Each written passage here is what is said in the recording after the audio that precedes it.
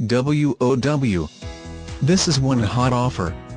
This 2009 Ford F-150 gets 14 miles per gallon in the city and gets 18 miles per gallon on the highway. Come in for a test drive today.